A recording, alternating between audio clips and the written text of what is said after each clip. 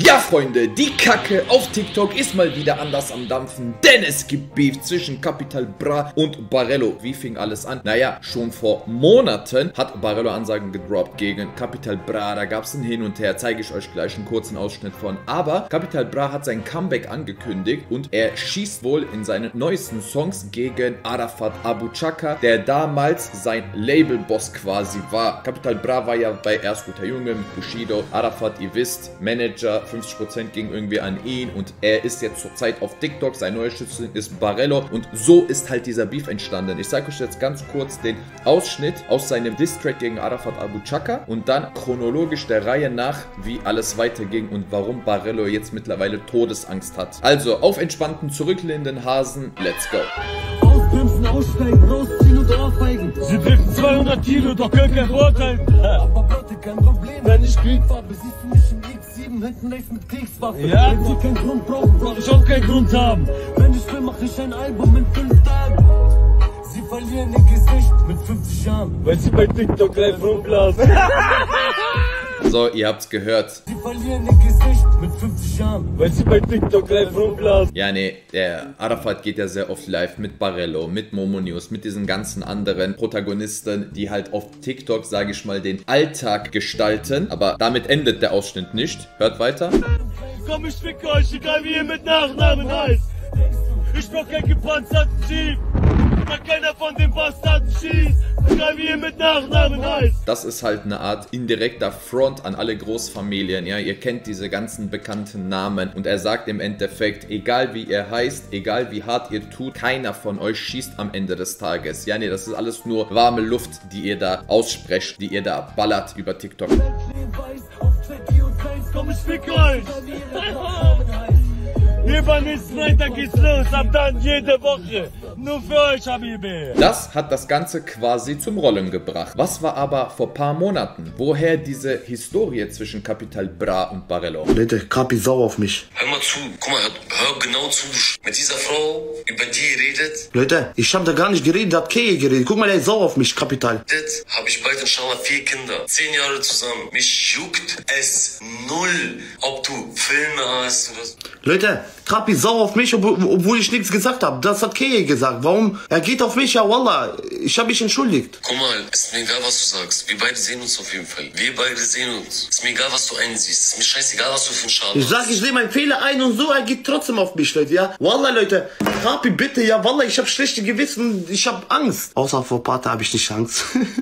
Das war in der Vergangenheit. Jetzt startet das Ganze von neuem. Einige munkeln, dass Arafat Abu Chaka Barello vorgeschickt hat, dass er sich um die Sache mit Capital Bra kümmern soll. Aber wir bieten Spekulationen hier keinen Raum, die erwähnen sie nur. Jetzt genießt die Show, was seitdem alles vorgefallen ist. Wann? Heute, Wo?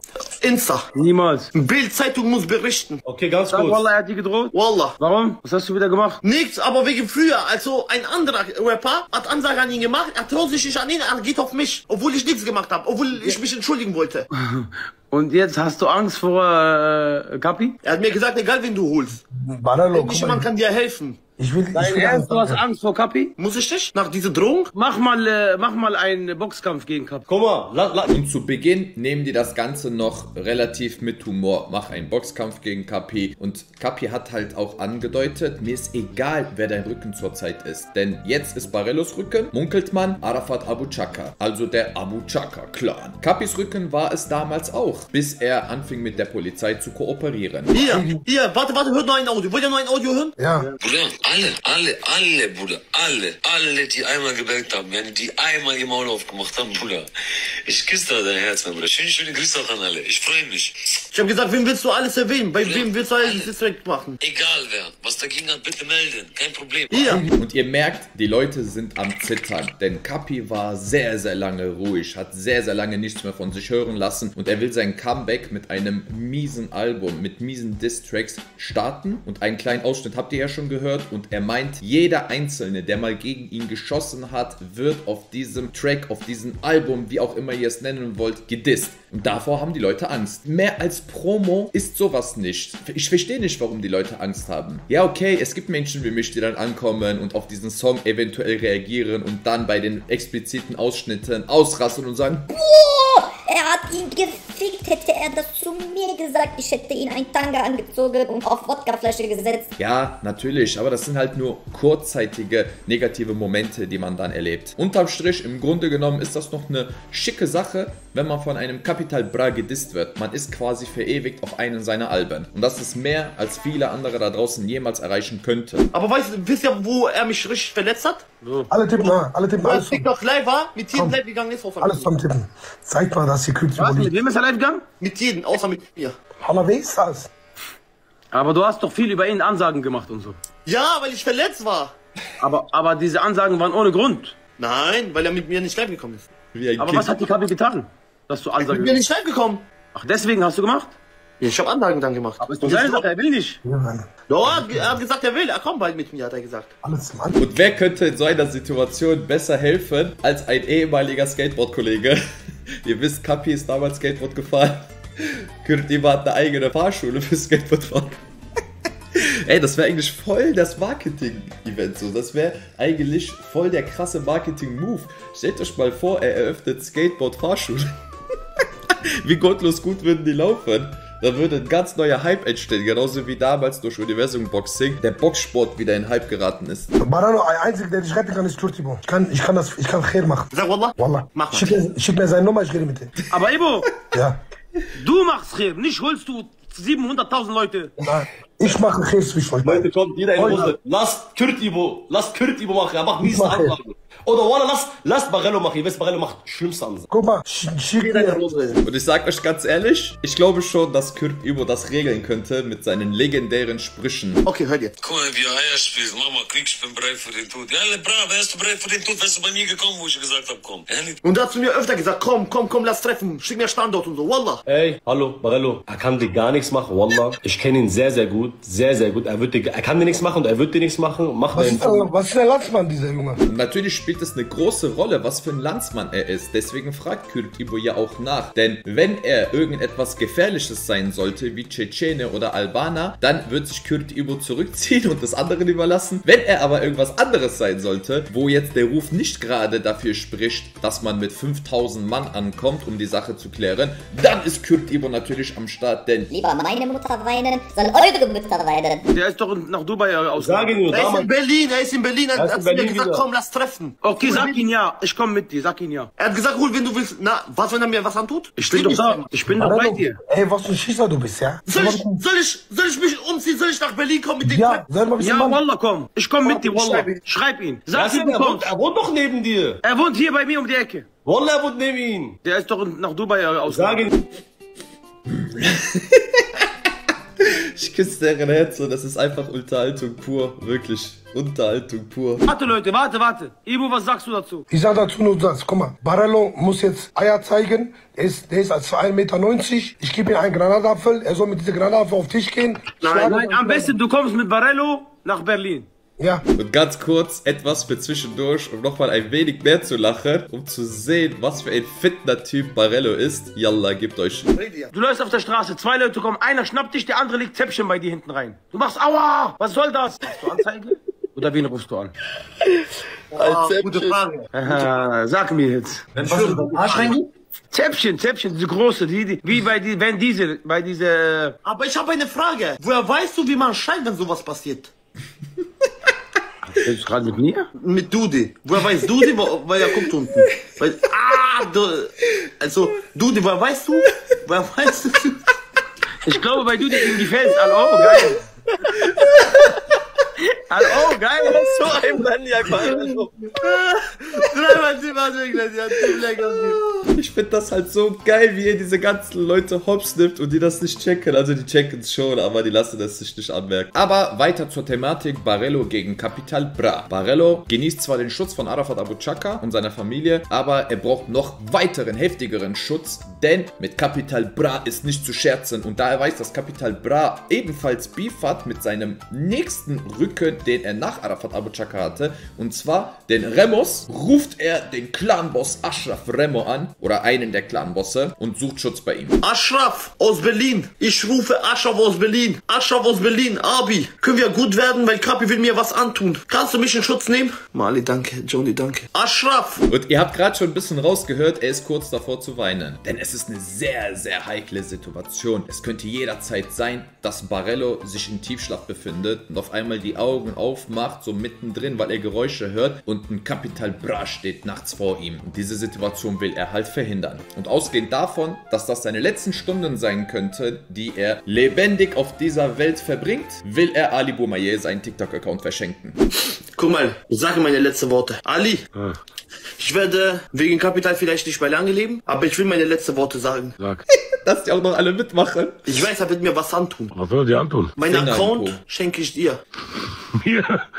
Danke, Bruder. Sehr nett von dir. Und das Geld habe ich schon rausgeholt. Nein, lass drinnen dann. Was willst du dem Geld, wenn du tot bist? Nee. Kann ich nicht gebrauchen. Rap Nee, das, das, das lasse ich meine Familie. Okay, das ist besser, ja, hast du recht. Bruder, wenn du stirbst, wirklich, ich werde auf jeden Fall deine Janaza mitmachen und auch tragen deinen Sarg und auch Gebet machen, inshallah, okay? auch. Jalla, uns. Sag Papa, ich hab ihn auch geliebt. Ciao. Er liebt dich auch. Ciao. Ich schwöre es euch, das ist einfach Film. Ich frage mich, so, ich bin doch nicht tief genug in dieser Materie drin. Ich bin doch so ein außenstehender Beobachter. Aber ich frage mich wirklich, ob die sich zu vereinbarten Zeiten zusammensetzen an so einem Tisch oder in so einem Discord-Talk ja, oder Zoom-Konferenz und wirklich skriptmäßig aufschreiben, Hm, was faken wir als nächstes? Welche Geschichte verbreiten wir als nächstes unter unserer Gefolgschaft? Womit können wir die Menschen unterhalten? oder ob das alles spontan entsteht. So, und auch lustig, wie Barello langsam seinen Respekt vor Arafat und Co. verliert. Schaut mal, wie er ihn danach macht. War ein Vertrag? Vertrag? Er wollte seinen Weg gehen.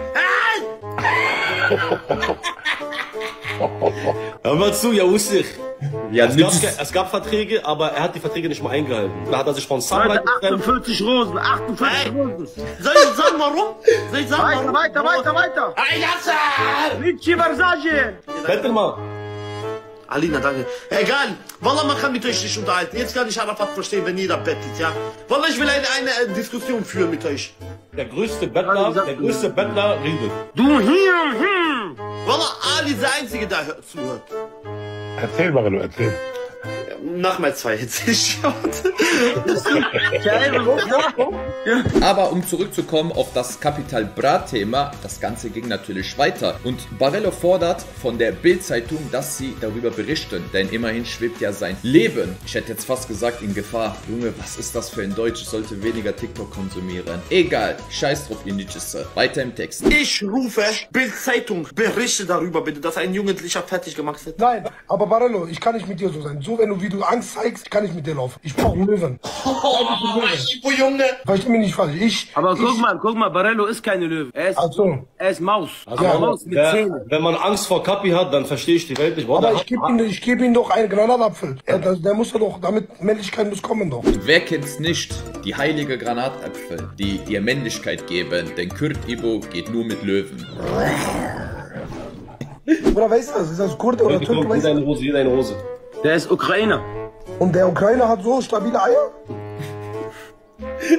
Kapital, wie heißt der? Kapital was? Bra. Aber ich glaube, der ist Kurde. Kapital Bra, Bra bedeutet Bruder. Nein, er heißt Kapital. Bobo. Bruder, weißt du das? Ist das Kurde? Ich glaube, er ist Kurde, weil er Kapital Bra heißt. Kürt ist der Beste.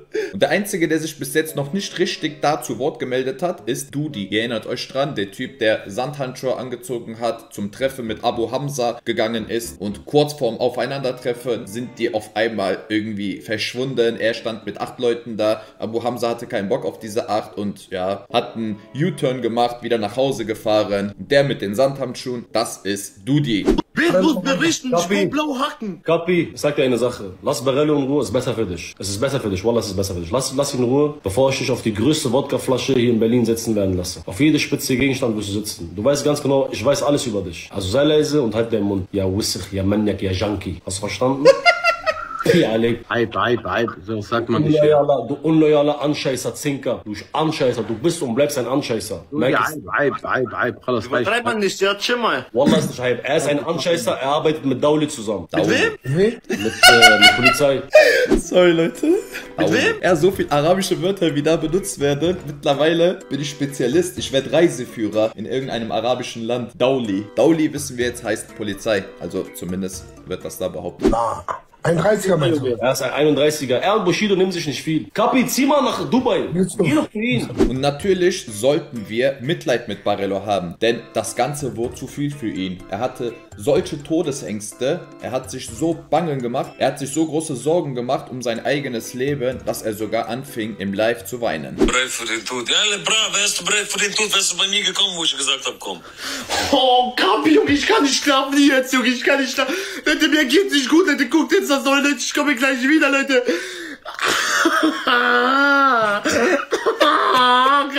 Junge. Leute, ich komme in 10 Minuten wieder, Leute, ich schwöre. Hey, Leute, bitte, schreibt Bildzeitung, der Jugendliche weint. Er wird gedroht mit Mord, Leute, warum berichtet keiner? Leute, was soll das? Ja, aber Barello, eigentlich ziemlich unverschämt von mir, dass ich hier jetzt grinsend sitze und mich darüber amüsiere, aber irgendwo habe ich schon Mitleid mit ihm. Irgendwo tut er mir leid, ich kann das zu 100% nachvollziehen. Und komm, das will ich euch auch nicht vorenthalten. Der Hund, der bellt, der sterben will. Wo ist das heilig für Menschen? Eine heilige Dings, Tür. Heißt heilig. Ja, und, ist tot. dann, dann macht er seine Bella vor diese heilige Dings, dass er steht.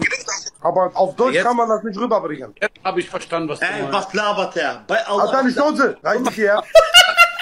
Erklär dir, lass mich erklären. Guck mal, was er gesagt hat. Dann macht er sein Bella. Siehst du, er heißt nicht mehr Kurt Bella eben. Was anderes. Ich habe äh, letztes Mal auch wieder gesagt, ah, hier, se- seine, seine Freund hat wieder Spaß. Man sagt, meine linke, meine linke Hand, den Sonne, den andere Hand, den Mund, mir geht, ich werde meinen Weg nicht ändern. Das ist unser Prophet Muhammad, der hat, hat er damals auch gesagt. Aber diese, dir, diese Maniacs, die verstehen die Wörter nicht. Warte, der Prophet Muhammad, dass wir diesen Hadith gut überliefern. Dein Onkel Abu Talib. So, und was ist der letzte Ausweg, der einem bleibt, wenn man bedroht wird, wenn dein eigenes Leben am seidenen Faden hängt? Natürlich die Identität verändern und umziehen in ein anderes Land. Denn nur so ist eure Sicherheit gewährleistet. My man. It is what it is, Leute, ja. Ich werde umziehen für immer nach Amerika, Leute. Weil, ganz ehrlich, ich habe auch meinen Style geändert. Weil, Leute, in letzter Zeit, ähm, ich habe ein bisschen Content gemacht, Leute. Ansagen gemacht, Kapital, dies und das. Und da hat mich Leute beleidigt heute. Und ich bekomme Anrufe, ich bekomme, ich bekomme wirklich, Leute, ich werde gedroht. Ich werde nach Amerika für immer umziehen. Von dort werde ich live machen. Und dort, Leute, werde ich an andere Leute, zum Beispiel, die nicht so gefährlich sind wie Capital Bra. Bei Capital Bra hat wirklich Leute geschickt, die mich töten wollen. Er droht mir mit Mord, Leute. Ich werde nach Amerika gehen und dort werde ich Ansagen machen nach 50 Cent an Leute, die harmlos sind, die mir nichts antun. Gottlos. Okay, Leute. Ja. mm, yeah, man. Der Wussach, der Nidges, der Ars, der Eiri. Also hoffen wir, dass es ihm gut gehen wird in Amerika. Hoffen wir, dass er weiterhin so durchzieht. Und er hat vollkommen recht. Da leben natürlich viel, viel harmlosere Rapper wie hier in Deutschland. Mit einem Kapi würde ich mich auch nur sehr, sehr ungern anlegen. Diamant, Junge, Diamant in meinen Zähnen, Diamant in meinen Uhren. Ich bin der, der Kapitist und kennt keine Spuren. Ja, spurenlos werde ich verschwinden. Wenn Kapi zu mir kommt, werde ich in einen... Ja, mhm. La Capia Junkie, la Custicea Maniac. Ey, ohne Witz jetzt, ja? Er droht mir, ich schwör auf alles. Ich schwöre bei Allah, ich stehe hinter dir. Ich stehe hinter dir. Ja, Leute, ruf mich an. Er droht mir mit Mord, Wallah. Ich hab Angst. Ich hab Angst um hast, mein ey, Leben, du, Wallah. hast, du, hast, du hast Wallah gesagt. Bei Allah. Bruder, Wallah kann nichts machen. Bruder, ich beschütze dich, Bruder. Ich kenne ihn, Bruder. Ich kenne ihn sehr, sehr gut. Wir kennen uns seit 2015, Bruder. Ich kenne Kapi privat. Ich weiß, wie er denkt sogar. Ich weiß, wie seine Scheiße riecht. Wie riecht es sein? Riecht nach Junkie, nach Junkie. Aber Bruder, warum siehst du so aus wie Wesley Snipes? Ich muss meinen Style ändern, damit er sieht, ich bin harmlos und so, ne? Weil sonst sehe ich gefährlich aus. Let's do it, man. Let's do this shit, man. What, what, what? Hä? Komm mal kurz wieder, komm mal kurz wieder. Warte.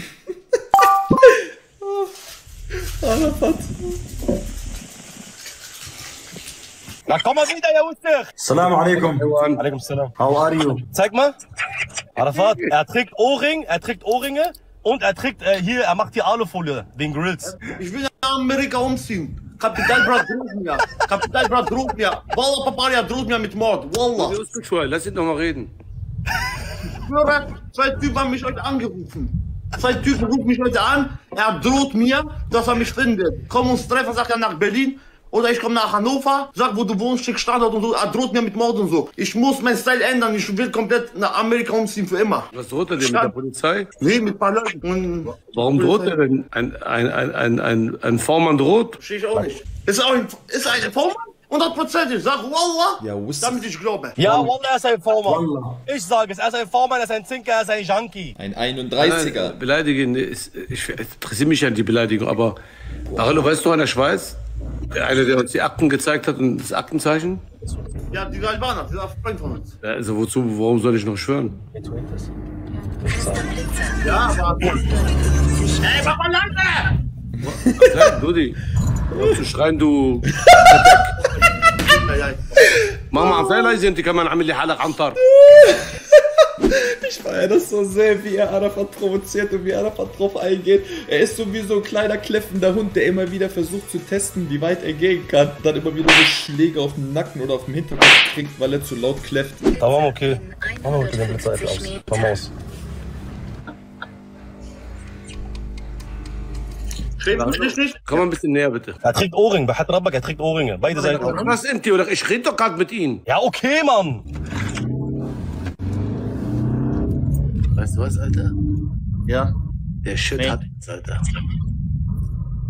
Was? Das hat was, Alter. Du bist der letzte Shit hier, Alter. Yes. Nee. Machen wir einmal so.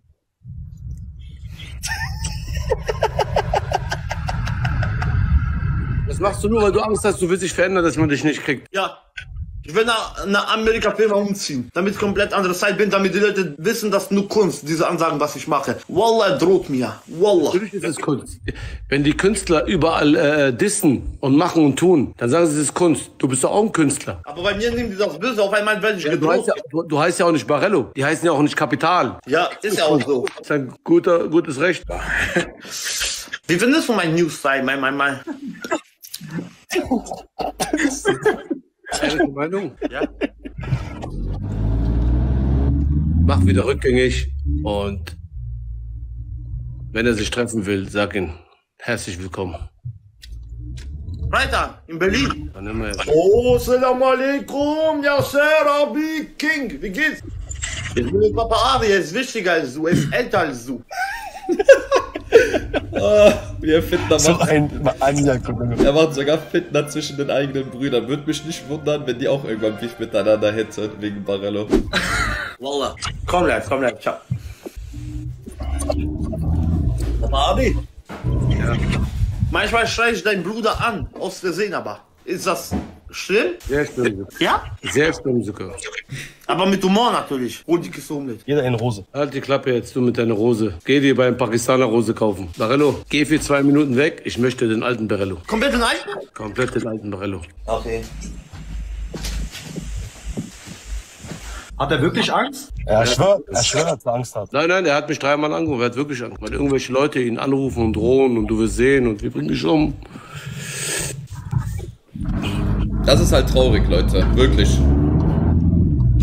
Das ist halt der Punkt, an dem Spaß aufhört. Ja, ich weiß, es gibt Leute wie Kapi und noch viele andere da draußen, die das Internet zu ernst nehmen. Aber wenn jemand als Kunstfigur wie Barello ankommt, der heißt ja nicht wirklich Barello. So, wenn der ankommt und so seine Späßchen macht im Internet, viele freuen sich darüber, denn die generieren dadurch Reichweite. Viele feiern es nicht, die verstehen aber auf der anderen Seite im gleichen Atemzug genauso wenig, dass das zu seinem Programm gehört, dass er als Kunstfigur dafür bekannt ist. Ja, nee, wenn du mit dem Hall des Internets nicht zurechtkommst, dann geh raus aus dem Internet. So ist es nun mal. Du kriegst Kritikvideos, genauso wie Barello Kritikvideos geerntet hat. Du kriegst manchmal auch negative Resonanz, je nachdem, wie du dich benimmst im Internet. Das sind alles die Schattenseiten des Influencer-Seins. Und ein Rapper ist auch ein Influencer, genauso wie wir Influencer sind, genauso wie TikToker Influencer sind, denn wir beeinflussen meistens Meinungen und Verhaltensweisen von Leuten da draußen. Deswegen verstehe ich nicht, warum solche Grenzen überschritten werden, dass sogar Morddrohungen ausgesprochen werden. Das ist nicht die feine englische Art. Ich feiere das halt zu 0%, aber da kann man halt auch nichts dran ändern. Ich denke, für heute haben wir genug TikTok Cringe in uns reingesaugt. Es war wie immer sehr unterhaltsam. Ich feiere es. Ist aber nur meine Meinung. Schreibt ihr mir sehr, sehr gerne eure eure Meinung unten in die Kommentare rein. Und all diejenigen, die bis zum Ende dran geblieben sind, ich küsse eure Herzen. An all diejenigen, die noch nicht abonniert haben, abonniert, Glocke aktivieren und checkt den angepinnten Kommentar unten ab. Mein neuester Vlog. Ich war auf Mallorca mit Big N zu seinem Musikvideo dreh. Es ist sehr, sehr nice. Ist ein relativ kurzes Video. Danke für jeden Support. Bis dann und denkt immer daran, auch in euch steckt ein kleiner now, sing